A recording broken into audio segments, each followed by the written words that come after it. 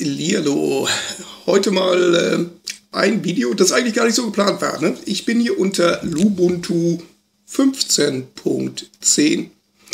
Nun, eigentlich nette Sache. Ich wollte ein ganz anderes Video machen. Ich wollte mit Record My Desktop hier diesen Desktop aufzeichnen. Ne? Also wollte dann zeigen, jawohl, Lubuntu 15.10 Touchscreen geht. Und das ist noch nichts Besonderes hier quasi. Das ist, äh, ich habe meinen alten Dell hier dran. Der hat nur eine CPU.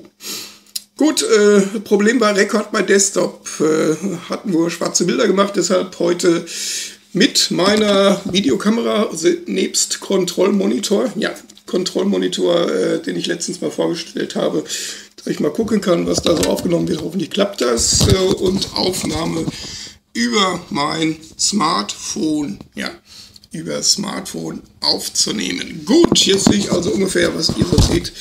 Äh, ja, eigentlich war Rekord mal das, das ist jetzt schade. Das ist jetzt ein, kein, kein Video mehr geworden zu Ubuntu 15, also Lubuntu, äh, was es alles kann oder alles nicht kann. Äh, das ist äh, so ein bisschen undisponiert jetzt hier. Gut, was ging nicht? Ich konnte zum Beispiel nicht äh, GUVC View, obwohl installiert. Ich kann ja herumtatschen. Ja. Und zwar haben wir unter Unterhaltungsmedien eigentlich äh, GUVC View. Das schmiert aber immer ab mit einem Fehler. Das ist jetzt nicht so schön. Ne? Und darüber bin ich dann gekommen auf ein anderes Programm. Ja, gut. Jetzt äh, startet es versehentlich. Startet es eigentlich versehentlich. Äh, zeichne da kein Video auf. Ähm, äh, bin drauf gekommen auf Kamorama Hilfe. Über Kamorama 019. Ja, Kamorama 019 bin ich drauf gekommen. Gut, äh, das funktionierte. Äh, Cheese ging erstmal auch nicht. Ich habe jetzt noch diverse Restricted äh, Extras installiert, war nichts zu machen. Gut, die Webcam befindet sich jetzt hier oben, wenn ihr das seht, da oben auf meinem Monitor. Ähm, jetzt nochmal probieren sonstige und ich bin ja flexibel. Ich kann ja mal gucken, ob GUVCW mittlerweile geht. Nein, geht nicht. Habt ihr gesehen, es kam kurz ist wieder weg. Cheese wollte auch nicht und auch mein selbstgeschriebenes Skript für Webcam ähm, hatte ich mal in einem Video gezeigt, ging nicht. Eigentlich wollte ich hier ein, ein wunderschönes Video machen. Ne? Wunderbar, ich sag, das geht ja auf dem alten äh, Dell. Wunderbar, obwohl der nur einen Prozessor hat, einen Intel Celeron 2,53 GHz. Der Rechner der dieses Bild erzeugt, ist über zehn Jahre alt. Ja, also 2005 so rumgebaut, jetzt haben wir bald 2016. Ne? Da wollte ich lobend das hier erwähnen, aber dann ging so einiges nicht. Ne? Ist mir dann im Nachhinein auch. Was ein Glück äh, kann ich euch dann zeigen. Also was aber geht ist, wenn ich einen Touchscreen-fähigen Monitor an diesen alten PC anschließe ne? und dieser Touchscreen-fähige Monitor hat einen separaten USB-Anschluss, ne? Sodass das Herumgetatsche dann wie eine Mausaktion ausgeführt wird. Das funktioniert prima. Das ist deshalb ganz äh, interessant und witzig. Jetzt mache ich noch mal Panorama an, damit er mich auch schwätzen hört.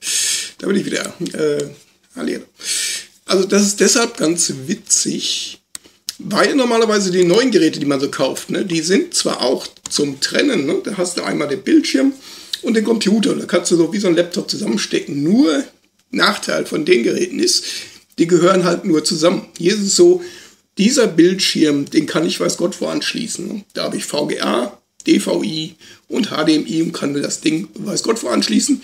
Zum Beispiel an einen alten PC.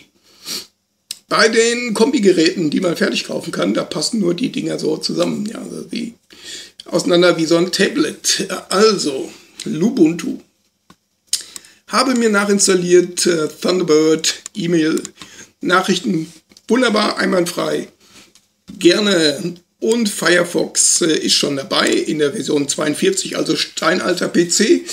Und wir haben die Möglichkeit, ähm, dort einen aktuellen Browser zu haben. Der Firefox ist natürlich wegen einer CPU ziemlich langsam, ähm, weil halt die ganzen Plugins und Flash und so weiter dann auch noch mitspielen wollen. Ansonsten ist Lubuntu auf dem steinalten Dell prima. Wir haben installiert Firefox. Äh, Thunderbird habe ich nachinstalliert. Grafik haben wir nicht GIMP vorinstalliert, kann man nachinstallieren. Da ist so ein komisches MT Paint. Ja, was ist mit dem NT? Jetzt bin ich auf Simple Scan gekommen. Das ist es von, für den Scanner, für den Drucker. Vielleicht die Sonnenbrille doch ausziehen sollen. Äh, Grafik, das ist so ähnlich. Ja, also nicht so ähnlich wie GIMP. Das ist nicht so komfortabel. Da kann ich zwar hier dank Touchscreen auch was irgendwie machen.